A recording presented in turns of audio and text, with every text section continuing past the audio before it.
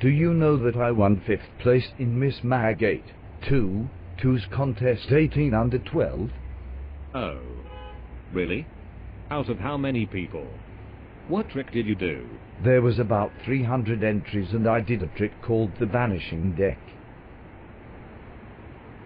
That is amazing. What prize did you get?